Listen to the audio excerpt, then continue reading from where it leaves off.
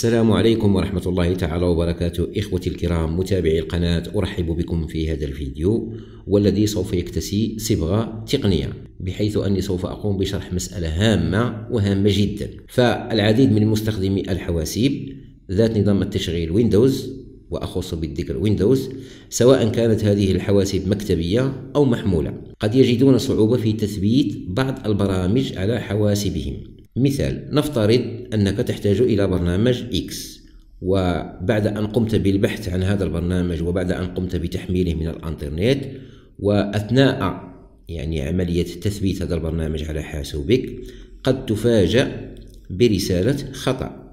مفادها أنه يتعذر تثبيت هذا البرنامج على هذا النظام. بالنسبة لهذا العائق أو لهذا المشكل ينبغي لك أن تفهم أصل وأساس المشكل. وبالتالي إذا فهمته سوف تتعامل معه وقد تتوفق في إيجاد الحل المناسب له. وهذا ما سأقوم بشرحه في هذا الفيديو حسب تجربتي الشخصية. نبدأ على بركة الله.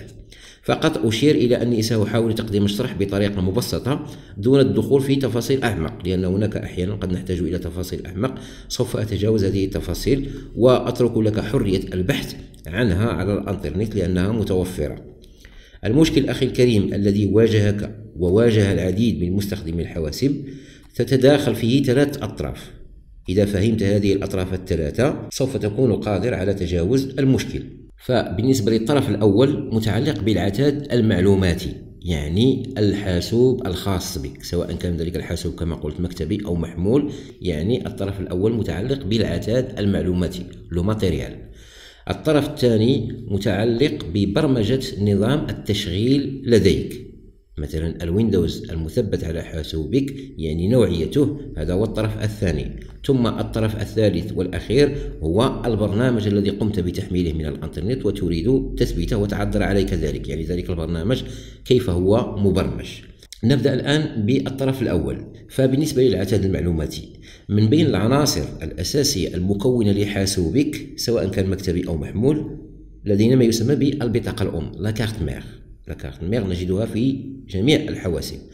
وهذه البطاقة الأم تحتوي على مجموعة من المكونات. من بين هذه المكونات ما يسمى باللغة العربية المعالج أو باللغة الفرنسية processeur كما ترونه هنا. إذا بالنسبة لهذا المعالج يعني إن صح التعبير يعني إذا أردنا يعني تعبير مجازي يمكن أن نقول عنه أنه القلب النابض للحاسوب. إذا توقف هذا القلب النابض يتوقف الحاسوب بشكل كامل. هذا المعالج أو ال processeur هو المسؤول عن معالجة البيانات والأوامر. يعني أي شيء تعمله على الحاسوب يمر عبر المعالج. بالنسبة للمعالج هناك مجموعة من الشركات التي تنتج هذه المعالجات. لن أذكر هذه الشركات كلها ولكن سأعطي فقط هناك لدينا مثلا شركة Intel. يعني معروف على الصعيد العالمي وشركة AMD بالإضافة إلى شركات أخرى.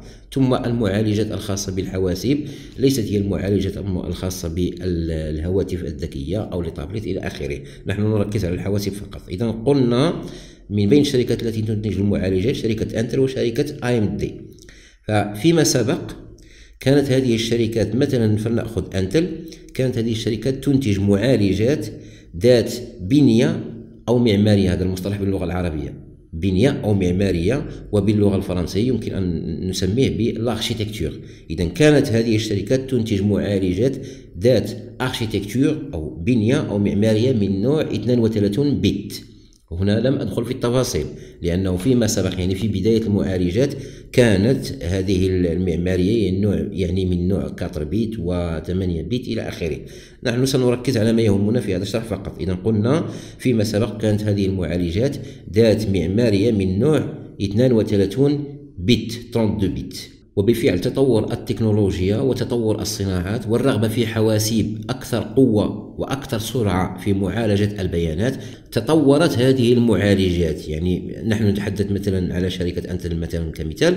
إذا فإن شركة أنتل طورت معالجاتها وأصبحت تنتج معالجات أكثر سرعة وذات معمارية أو بنية أو أركتيكتور من نوع 64 بت 64 بت هنا أنا لا أتحدث عن الأنوية les cœurs يعني مثلا قد نسمع مثلا معالج Core 2 معالج Core i 3 i 5 لا أنا لا أتحدث عن les cœurs أنا أتحدث عن ال architecture يعني بنية المعالج. إذا بنية المعالج في السابق كانت 32 بت والآن أصبحت 64 بت يعني تعطي سرعة أكبر في معالجة البيانات. إذا حاليا لدينا معالجات ذات معمارية 64 بت ومن بين وهذه ملاحظة مهمة جدا انتبهوا لها من بين آه، أهم الخصائص الخاصة بهذه المعالجات يعني 64 بت أنه يمكنها استغلال أو إكسبلواتي استغلال وتشغيل والاستفادة من ذاكرة عشوائية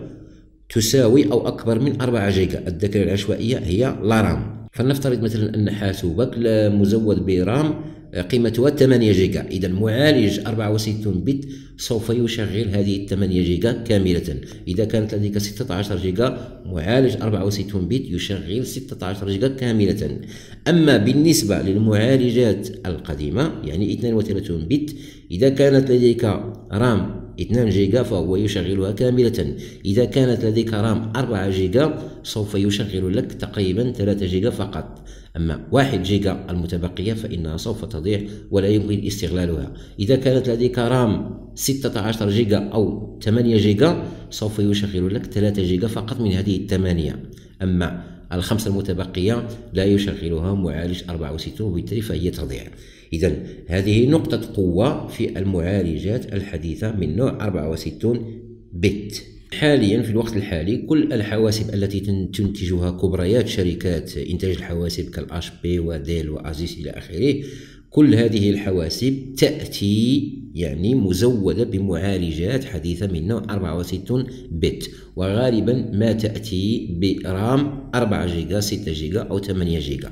إذا لاحظوا تطور العتاد المعلوماتي. إذا هذا فيما يخص الطرف الأول يعني المعالج هل هو 64 بت أم 32 بت. سنمر الآن إلى الطرف الثاني. الطرف الثاني برمجة نظام التشغيل.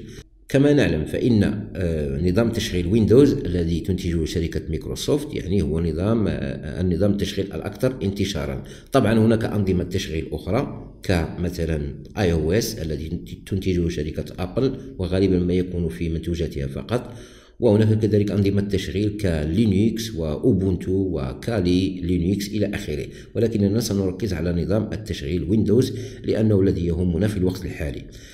بالنسبة للويندوز نحن نعلم بأن هناك نسخ. مثلا هناك الويندوز 6 7 الويندوز 8 الويندوز 10 هناك الويندوز XP إلى آخره. لكننا يعني سنركز على الويندوز 6 و8 و10 باعتبار أن الويندوز XP أو ما قبله يعني في طريقه إلى الانقراض إن لم أقل انقرض.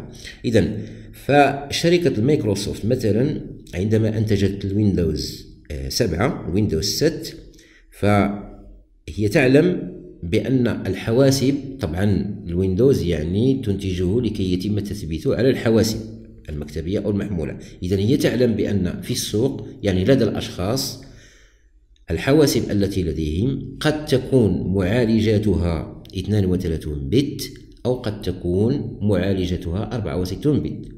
مثلا شخص معين اشترى حاسوب مكتبي قد يشتري حاسوب حديث يعني معالجه 64 بت وقد يكون حصل على حاسوب نوعا ما متقادم ومعالجه هو 32 بت. اذا شركة مايكروسوفت لكي تحر... لكي لا تحرم الكل من تثبيت ويندوز 7 وهذا في صالحها يعني لكي تسوق مثلا آه، المنتوج الخاص بها. اذا تنتج ويندوز 7 من نوع 32 بت يعني خاص بالحواسب التي تحتوي على معالجات 32 بت وتنتج كذلك ويندوز 7 من نوع 64 بت يعني خاص بالحواسب الحديثة التي تحتوي على معالجات من نوع 64 بت بالنسبة للويندوز 7 يعني لم أتحدث هل هو Professionnel أم Home أم Intégrale إلى آخره. إذا كيفما كان يعني نوعية هذا الويندوز سوف توفر شركة مايكروسوفت في شقين. الشق الأول أو النوع الأول ويندوز 7 32 بت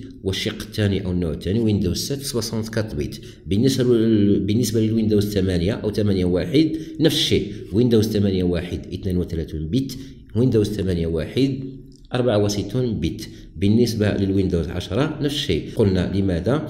لأنه حسب الجهاز الذي سيتم تثبيت هذا الويندوز عليه. إذا كان هذا الجهاز ذو معالج نوعا ما متقادم 32 بت تصلح له نسخة الويندوز 32 بت. إذا كان حاسوب يحتوي على معالج حديث من نوع 64 بت تصلح له نسخة الويندوز 64 بت. إذا هنا سوف نأتي إلى نقطة هامة. فلنفترض مثلا أنه لديك حاسوب محمول وأنت تعلم مسبقا بأن المعالج في هذا الحاسوب هو 32 بت. إذا توفرت لديك نسخة ويندوز 7 64 بت لا يمكنك نهائيا تثبيتها على هذا الحاسوب المحمول. يعني سوف سوف تبدأ عملية التثبيت ثم عندما يتحقق الويندوز من ال matériel سوف يجد بأن المعالج 32 بت وبالتالي سوف يعطيك نظام التشغيل كاملا سوف يعطيك رسالة خطأ. يقول لك بأن هذه نسخة الويندوز لا تصلح لهذا الحاسوب لأن هذا الحاسوب يحتوي على معالج من نوع 32 بت وبالتالي يجب عليك التوفر على نسخة يعني هذا هو مفاد هذه الرسالة. ما العمل؟ العمل هو أن تبحث عن نسخة ويندوز 7 32 بت. إذا هذه هي المتوافقة مع المعالج الخاص بك.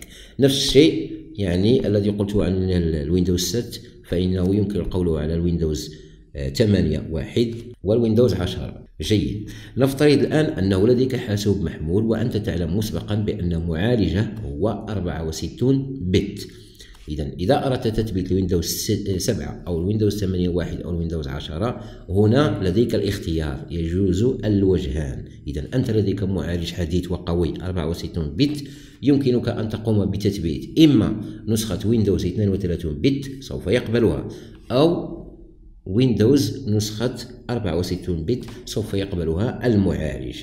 لكن إذا أردت يعني التعامل بذكاء مع الأمر فيفضل في هذه الحالة ينصح وبشدة بأن تقوم بتثبيت نسخة ويندوز 64 بت لماذا؟ لأن الأمر متعلق بالذاكرة. فلنفترض بأن هذا الحاسوب كما قلنا بأنه حديث معالج حديث 64 بت إذا أكيد أن ال RAM التي سوف تكون لديك هي 4 جيجا أو ربما 6 جيجا أو ربما 4 جيجا وتفكر مستقبلا في إضافة RAM أخرى.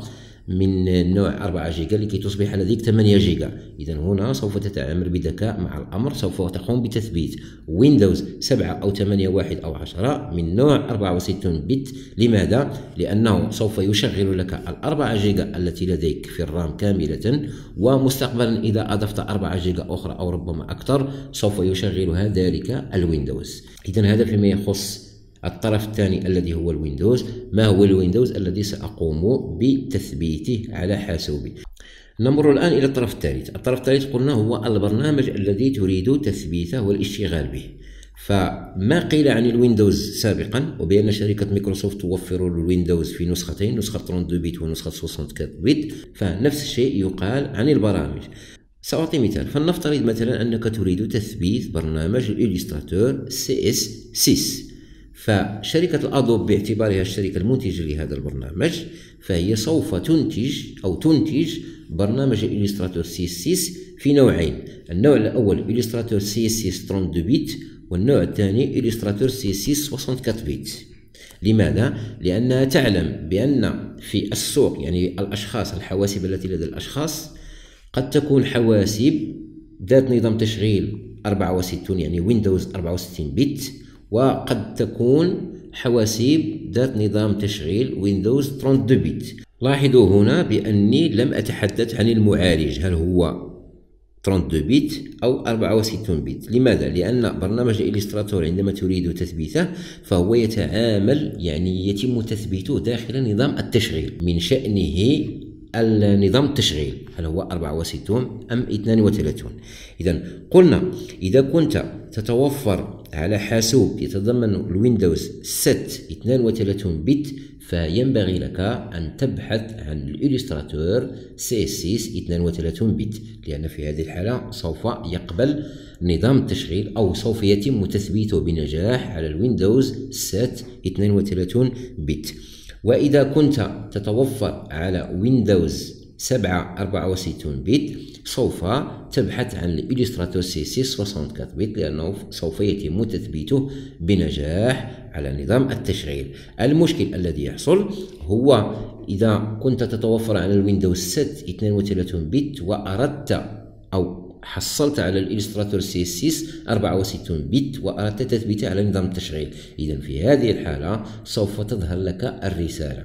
مفادها بأن لديك ال Illustrator 64 بت وتريد تثبيته على ويندوز 32 بت وهذا غير ممكن. أعتقد الآن بأن الأمور قد اتضحت لك. إذا نظام التشغيل الذي لديك إذا كان 32 بت سوف تبحث عن البرامج من نوع 32 بت لأنها سوف يتم تثبيتها بنجاح. وإذا كان لديك نظام تشغيل من نوع 64 بت فإنك سوف تبحث عن البرامج من نوع 64 بت هي التي سوف يتم تثبيتها بنجاح علما أن هناك يعني آه، إذا كنت تتوفر على نظام تشغيل من نوع 64 بت فحتى برامج ال 32 بت يتم تثبيتها عليه. يعني نفس ما قيل عن الويندوز مع المعالج. لماذا؟ لأنه لديك معالج قوي 64 بت ومثبت عليه نظام تشغيل قوي ويندوز 64 بت وفي هذه الحالة إذا كنت تتوفر على برنامج من نوع 64 بت فسوف يتم تثبيته بنجاح. وإذا كنت تتوفر على برنامج من نوع 32 بت سوف يتم تثبيته كذلك بنجاح. المشكل يظهر إذا كان لديك معالج ضعيف 32 بت وأردت تثبيت برنامج من نوع 64 بت عليه. وهنا يظهر المشكل. إشارة أخيرة إخوتي الكرام وهو أنه أمام التطور السريع والرهيب للتكنولوجيات الحديثة وما يوازيه من تطور على مستوى العتاد المعلوماتي فإن شركات إنتاج البرامج بدورها تقوم بتطوير برامجها لكي تصبح أكثر قوة وأكثر سرعة وأكثر يعني آه، من حيث المؤثرات والخصائص. وبالتالي كلها تأتي آه، مدعمة لنظام 64 بت فقط. إذا كانت هذه الملاحظة إخوتي الكرام هي آخر شيء في هذا الفيديو. أتمنى أن أكون قد وفقت في الشرح بأني قربتكم من الصورة وأتمنى أن تكونوا قد فهمتم هذه الأمور التقنية. إذا كان هناك أي لبس أو إبهام أو أردتم الاستفسار أو أردتم يعني آه، طرح إضافات جديدة حول هذا الأمر. تفضلوا مشكورين إخوتي الكرام هنا في التعليقات على اليوتيوب أو في التعليقات عبر صفحتنا على الفيسبوك. كذلك لا تحرمون من اللايك ومن الاشتراك في هذه القناة ومن مشاركة هذا الرابط مع كل من يحتاج لمثل هذه المعلومات. شكرا لكم إخوتي الكرام والسلام عليكم.